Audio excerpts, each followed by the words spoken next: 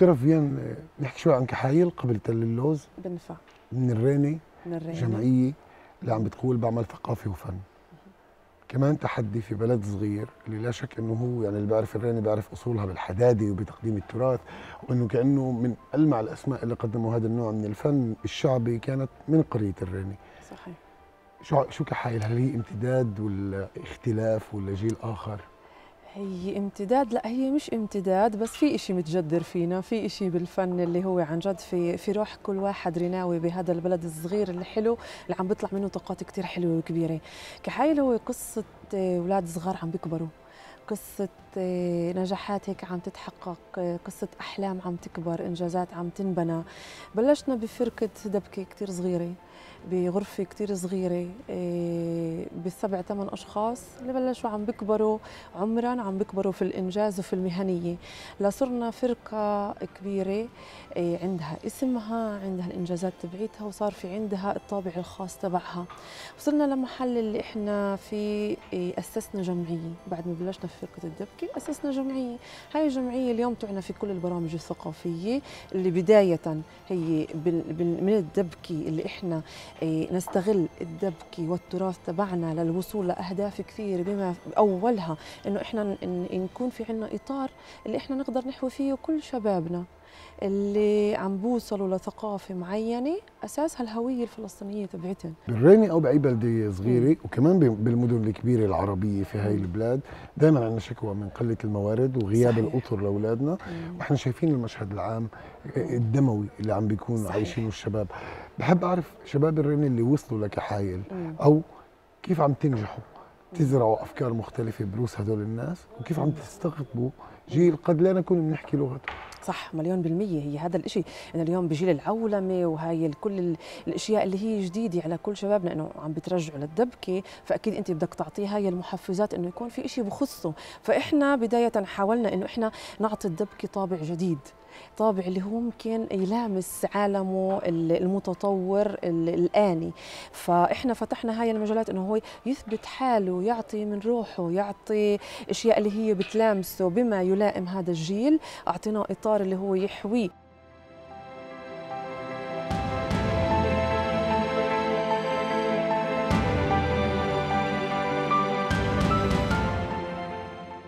عن تل اللوز نحكي عن تل اللوز شو هالعمل ليش اجى وشو جاي يقول؟ شو كانه عم؟ بيكمل يعني اللي بنشوفه من المشاهد ومن الأصداء ومن ال- ال social media حتى هو دمج بين الدبكة والفن وال- والثقافة الأصيلة اللي بتدعمها كحايل مع أسماء نجوم ولوحات راقصة. صحيح صحيح.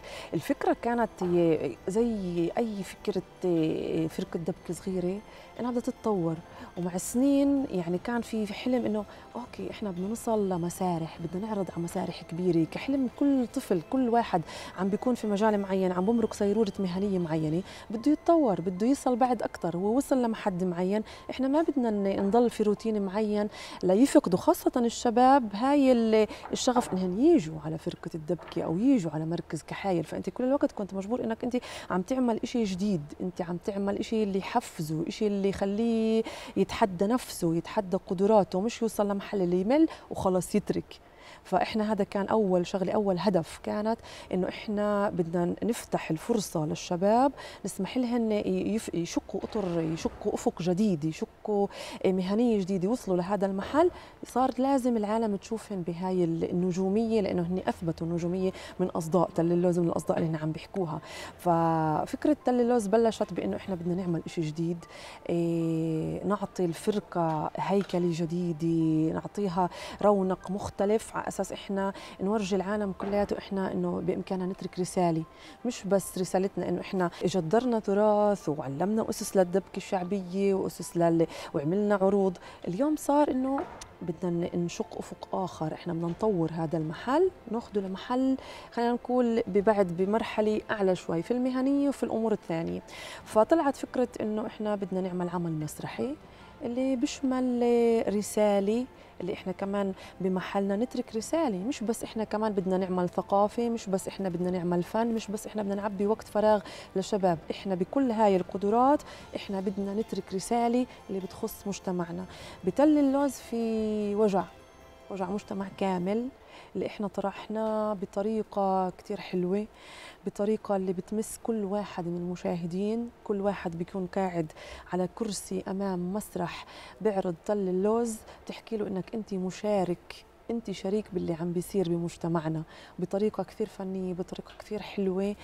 مرحة إحنا ما بدنا نضيف أسى ووجع على مجتمعنا بكل اللي عم بيصير فيه بس إحنا بدنا نترك رسالة اللي تأثر. تاثر داخل كل واحد بيحضر بواحد كل واحد في مجتمعنا إنه أجى الوقت تعالوا نتحرك. حتى لو كان عن طريق سخرية حتى لو كان عن طريق إحنا عم عم نضحك بس بالآخر في رسالة بتوصل وكثير واضحة في تل اللوز الهم العام في تل اللوز هو صراع دموي عم بتعيشوا عائلتين. حسب رأيي. بديش أقول دموي دموي بيشبه شو مجتمعنا عم بيعيش فبالتالي هذا الصراع قد يكون خطر. وهذا شو اللي كان هدفك تقوله؟ بدك تقول للناس اللي جاي تحضر شو راح تشوف على هاي المنصة. شو بدي إياك تواجه؟ القصد هو العنف المموه أكثر من العنف المباشر تبع إنه فلان بقتل أو فلان بطخ أو فلان عنيف. يعني. في عنف يومي إحنا بنمارسه على بعض بنمارسه بدون ما نقصد. هذا عنف موجود أو أصعب على على الشباب وعلى الصبايا على كثير ناس. بديش بديش مش كثير حابب أحكي الرمزيات اللي أنا اللي إلي شو بتعني لي شو بيعنوا لي فارس وسلمى على المسرح؟ مين هن فارس وسلمى؟ وشو بيعني لي السلطة المحلية؟ وليش عم نحكي إحنا عن عن إنه إحنا عن جد إحنا إحنا بنقتل بلادنا. هذا الأصعب. إنه إحنا كشعب إحنا بنقتل بلداتنا العربية. نتعامل مع الحيز العام كأنه هدية من السماء مش كأنه ملك عام لنا إحنا ما بندافع عن الملك العام إحنا بنقتله. بالنسبة لي أنا الملك العام تبعي هو بيتي. ولكن الشارع اللي سيارتي بتمشي فيه كل يوم هذا مش ملك عام هذا مش ملكي. عشان هيك إحنا بنحافظش عليه. وبنقتله مش بس بنحافظش عليه. فاهم قصدي؟ فهاي الصعوبات اللي أنا اللي, اللي كثير كثير بتضايق اللي, اللي, اللي حسب رايي تل اللوز بيحكي عليها. إحنا بنقسم بلداتنا العربية كاننا بنقسم كعكه وبنقسم ورثه وكل مرة في عندك الضرائب الانتخابية اللي بدفعها الرئيس اللي بده يفوت على الهاي إنه واعد كثير ناس إنه في حالة أنا فتت تيجوا معي وبتغير مناصب والمنصب بتعين فيه الناس اللي هن مش أصحاب الخبرة هن هن هن سداد سداد, ديون انتخابية. وإحنا كل مرة بلادنا بترجع لورا بكل انتخابات بلادنا بترجع لورا على خمس سنين و10 سنين. وإحنا عشان هيك؟ إحنا إحنا اتجاهنا خلفي.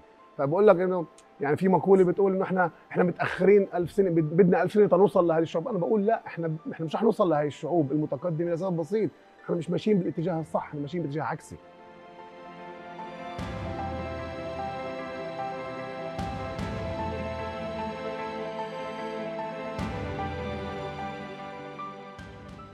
قمر كيف كانت كواليس الشغل؟ صدقا كواليس الشغل علي بالذات كانت شوي صعبة لأنه أنا تعودت إني أكون راقصة في كحايل فجأة أنا صرت ممثلة وبدور مذيعة فكان في هيك تخبط بين إنه أنا نفسي أكون بالرقص بس برضه مش حابة أترك تجربتي في التمثيل. فكان هيك في اكشن في وعي مسرحي في خلق آفاق مختلفة يعني لإلي ولشخصيتي أصعب أصعب أصعب شيء يعني فيش كثير إشياء صعبة. بس الشغل مع ناس اللي هي من مجالي صراحة ومش من مجالي كان إشي كتير كتير كتير حلو اللي كان بده تخلق لغة مشتركة. بالضبط مش من ناحية صعوبة بس كان كان مش عارفة كيف ممكن أشرح لك بالكلمات بس عن جد كانت فترة اللي عن جد مش ممكن أنساها.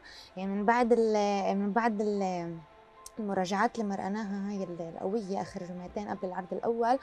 من بعد المراجعات حسيت إنه طيب هسه إيش بدي أعمل؟ خلصوا المراجعات شو لازم أسوي؟ كان وقتي مشغول كثير كثير كثير كان إشي بجنن الطاقم بجنن كلنا كنا إيد وحدة. شو أكثر شيء ساعدك بالتدريبات؟ يعني شو العامل اللي كان مساعد لك تفهمي شو بدك تقدمي من من شخصية ليلى؟ أكثر شيء إنه آه، بلعب دور الصحفية. فبلعب دور الصحفية وهذا شيء أنا بحبه. بحب وقفة المسرح آه، بحب كيف كمان كان المخرج آه، يفتح لنا كثير صناديق لدرجة إنه صرت أتخيل الأمور علي صرت ألعب أدوار مختلفة صرت أطلع طب لو إني أنا محل هذا الممثل لو إني أنا حد مختلفة عن غيري يعني. فحسيت إنه هذا دافع إلي إنه أنا بقدر أكون هاي المذيعة ليلى وأجسد شخصيتها في تل اللوز. لو سهله فيكو غربية ومحلية. بتل اللوز.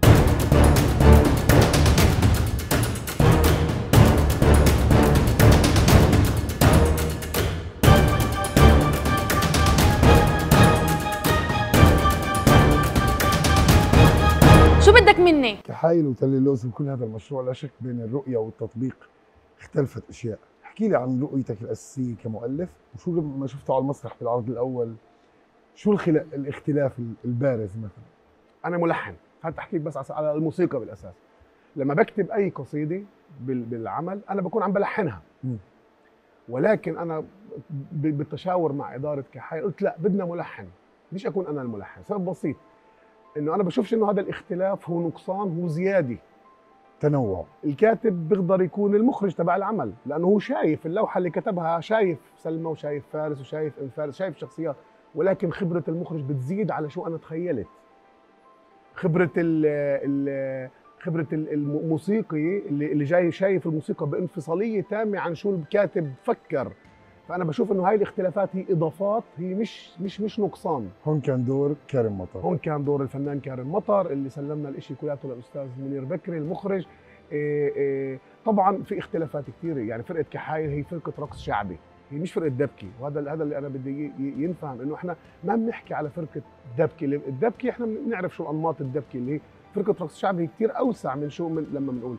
النمط الحركة الشعبية أو اللحن الشعبي هو اللحن القريب من الشعوب اللحن القريب للقلب. وهذا اللي بيحضر تل اللوز بيعرف إنه إحنا عم نعمل عمل من أول مرة بتحسوش منفر بتحسش حالك غريب عن شو عم بيصير على المسرح. لا من ناحية موسيقية ولا من ناحية فهذا هو أنا حسب رايي هو الفن الشعبي اللي هو قريب على الشعوب اللي ممكن الإنسان المثقف يتلقاه بطريقة إيه منيحة ويستوعبه ويحس بتناغم مع شو عم بيصير على المسرح. وكمان الإنسان البسيط يفهمه بيقدر يفهمه بدون تعقيد يعني بدون تعقيد بالضبط. أنوار وجودك على المسرح هاي المرة كان مختلف عن كل المرات السابقة اللي شفناك فيها في عرض عالمي. يعني مش مع أطفال مش بالراب إنما عم بتقدمي شخصية شعبية شوي. واللي لها دور وحضور في تل اللوز احكي لنا شوي أكثر. بفكر إنه 12 سنة اللي بعمل فيهم الموسيقى هن كانوا رحلة بحث رحلة بحث عن أنوار الموسيقية بالأساس وأنوار الفنانة بكبير. إيه، من تقلبات كثير كبيرة من تجارب كثير كبيرة بالمجال أو كثيرة بالأصح مش كبيرة. فكر إنه إيه، اجى الوقت ولقيت حالي يمكن بفكر إنه في بعد شو أدور على حالي بأنوار يعني. دائما الإنسان متغير متقلب حسب الأوقات حسب التجارب حسب النضج اللي هو فيه.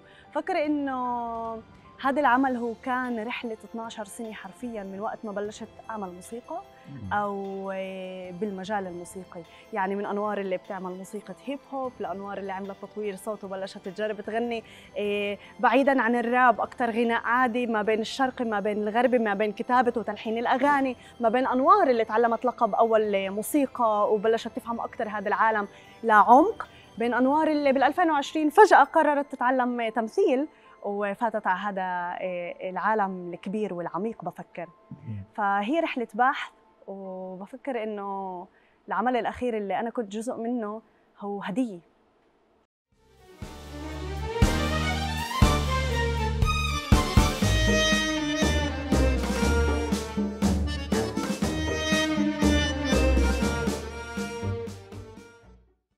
إيه، ماخذ دور فارس دكتور فارس. إحنا عم نتكلم هون على على قصة مجتمعنا العربي عن قصة إحنا عايشينها إحنا ماشيين فيها بحياتنا اليومية إيه احكي لنا أكثر عن فارس فارس دكتور فارس هي شخصية مهم لإلها مهم دكتور. طبعا آه. طبعا آه.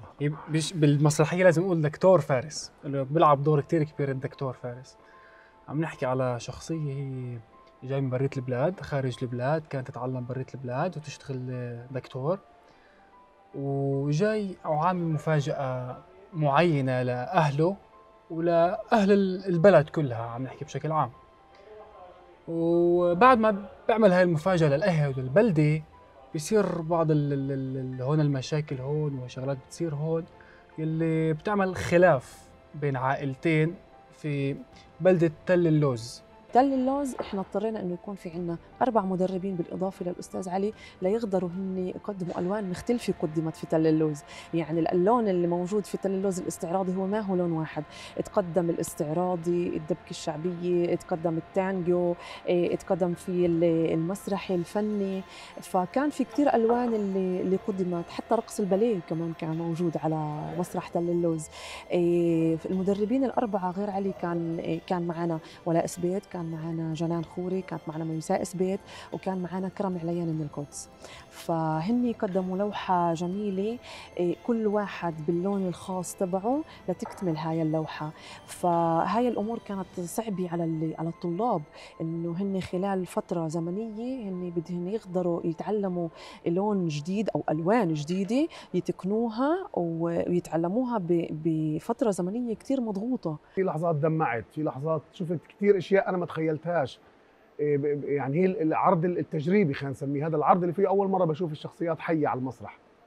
بتشوف سلمى عم تحكي إيه بتشوف فارس عماله ب ب ب عماله بيحتار مش عم عم بقايد بين بين قلبه وبين الزعامة وبين الحب اللي لازم يحارب عشانه.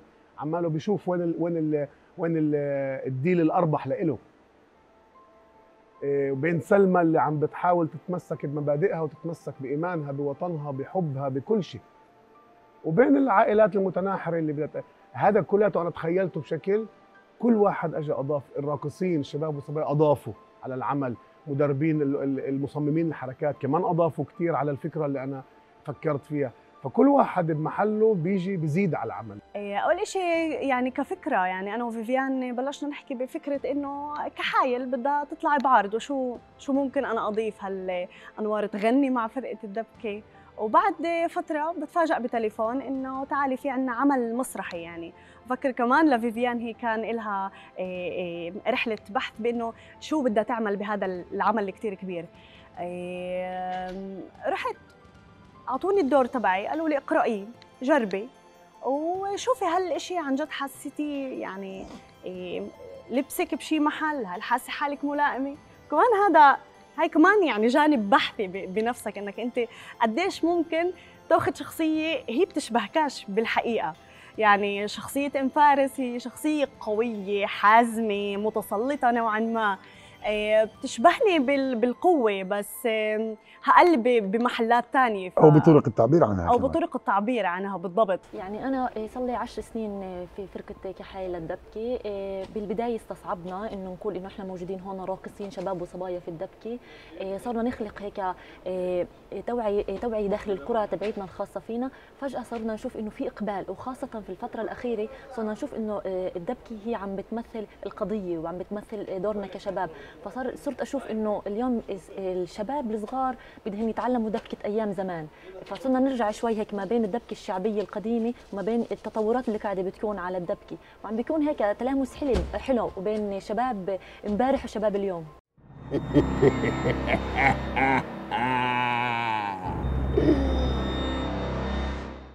ولا شك بهاي بهذا السياق إضافة واختيار ولاء سبيت كمان كان اختيار ذكي. كونه كمان طبعاً. فنان قريب من الجمهور والناس بحبوا الإبداع اللي عمله بالفن الشعبي 100% الفلسطيني 100% أنا حسب رأيي إنه كان في كان في اختيار ذكي لكل شخصية على المسرح. كان في اختيار إيه، لكل لا- لكل شخصية. إحنا حسب رأيي وتبدلوا كثير بمسار سنة كاملة من التجارب على شخصيات على ممثلين وتبدلوا وتبدلوا لحد ما وصلنا للصيغة الأصح وهي طبيعة الكون. إن في كثير ناس بتفوت على مسيره معينه بتجرب. بتجرب بتحس حالها جوا بتكمل بتحس حالها برا بتطلع وهذا كان جدا طبيعي وكان جدا مريح. لأنه حتى اللي تركوا تركوا عن قناعة وتركوا إنه لا إنه مش مش مناسب لإلي. بقدرش أكون بهذا المحل. ف وبعدنا العلاقة كثير طيبة وحتى بالعكس بعثوا لنا تشجيعات آه، إيه بدناش نحكي أسماء لأنه كتار ولكن إنه آه كل كل اللي تركوا تركوا عن قناعة واللي موجودين كمان موجودين عن قناعة. حرصنا على إنه يكون العمل مهني بكل المقاييس وبكل المعايير بكل الأطراف اللي اشتغلت فيه بناء ابتداء من المخرج منير بكري كتابة النص خضر شامة والموسيقى كارم مطر تصميم الملابس كانت لصبرين حسون طافج وتصميم الديكور وتنفيذه كان لسمير حوا فكلها أشخاص اللي هي معروفة في هذا المجال وكنت أنا حريصة على أنه أنا بدي نتيجة حلوة بالآخر. نتيجة اللي تعرض كل مجهود كحايل بالصورة الملائمة والمناسبة لأنه يكون العمل بهاي الجودة وليلاقي هاي الأصداء اللي قتلوا لأنه كان عن جد كان في كثير مجهود كبير لإحنا نقدر نوصل لهذا المحل.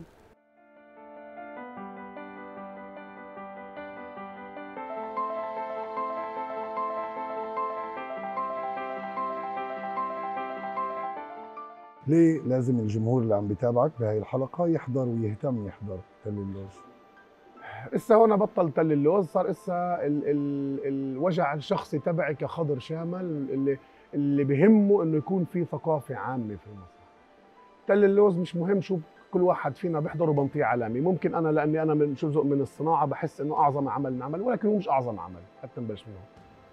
ابني أكيد بشوفه أحسن ولد في العالم. زي نفس الشيء علاقتي مع تل اللوز بشوفه يعني أكثر عمل أنا مبسوط فيه إيه موجود. كل شخص بيجي هو دفشه في مسيرة الخلق الثقافي المحلي اللي لازم إحنا نحافظ عليه. لازم نروح لازم نشجع كل صناعة محلية مش بس تل اللوز. إذا مسموح لي اسم أحكي أسماء. غربة حب مع سراج يارا والمايسترو مع ترشيحة اللي بيعملوه فرقة بيات. كل عمل فيه عمل محلي لازم نشجعه ونفرض على الصانع إنه يعمل كمان. لازم يكون في طلب عام إنه أنا بدي نعمل كمان. وضلنا نعمل لأنه إذا إذا بنوقف نعمل إحنا من من بنصدي كشعب. بس لما نعمل كثير ساعتها ممكن نوصل لمرحلة إنه صار في عندنا إنتاج يحكى عنه عالميا. وهذا بحاجه لزخم زخم صناعة. عشان يكون في زخم صناعة لازم يكون هاي الكاسه تكون ملانة بكل عرض. ساعتها الصانع بقول والله الجمهور أعطاني هذا الشانس. بدي بدي أرجع له. بدي أرجع له كمان إنتاج وكمان إنتاج وكمان إنتاج. بالحقيقة ومش لأني جزء من هذا العمل بفكر كل واحد طلع بقصة. حتى أنا تفاجأت من ناس بعرفهم ناس مقربين إلي يعني اللي ما بعرف عنهم قصص فقالوا لي بإكس مشهد شفنا حالنا بهذا المحل بسبب قصة حب مرقناها أو بسبب ظلم مرقناه أو بسبب شغل بالمجالس وبالبلديات وما إلى ذلك حسينا هذا الإشي. أفكر إنه تل اللوز هو قضايا اجتماعية وأشياء الفكرة بسيطة أنا بقول لك إياها عن جد حرفيا الفكرة بسيطة وقادرين يفهموها لانهن عايشينها باليوم يوم. بس حدا اجى هيك قرصهن وقال لهن أنتم جزء من هذه النتيجة اللي هي عم نعيشها إحنا بشكل يومي. تجربة رائعة. أول مرة بشتغل على على مسرحية على اوبريت ضخم مثل هاد. بدناش ننسى أنه كمان بمثل وبرقص وبغني بنفس الوقت عم بعمل ثلاث شغلات. مش اشي مش إشي هوين طبعا بس لا تجربة حلوة دور حلو فكرة حلوة من إخراج المخرج الكبير منير بكري. عن جد كل الاحترام له بنوجه له تحية. حسيت أنا شخصيا إنه وصلنا رسالة. رسالة تل اللوز رسالة كحايل رسالتي أنا. رسالة لك رسالة كل كل شخص. إيش ملخص هاي الرسالة؟ شو كنتوا بدكم تقولوا؟ إيه خليكوا إيد واحدة. عن جد. إيه في كتير أشياء بس أنا شخصيا أخذت من هذا من هذا العمل إنه مش مهم أنا منصبي إيش مش مهم أنا من أي عائله مش مهم أنا أي دين مش مهم أنا من وين جاي. مهم انه أكون أنا انساني بالأول إنسان. بني آدم وأتعامل مع اللي قبالي كعن جد هو كمان بني آدم وأكون مع الباقي ايد واحدة صراحة أنا لليوم بعدني هيك مبسوطة كثير من الأصداء أهالينا عيلتنا وكمان المحيط القريب منا واليوم الناس اللي ما بتعرفنا صارت تعرفنا وتعطينا كل كل الملاحظات الحلوة خلينا نقول وكل الانتقادات البناءة اللي عم بتكون ترجع لنا إلنا وتشجيعهن إلنا. يعني إحنا هيك صدقنا فعليا إنه إحنا أوبريت من نوع جديد ومختلف عم بيكون في المجتمع العربي.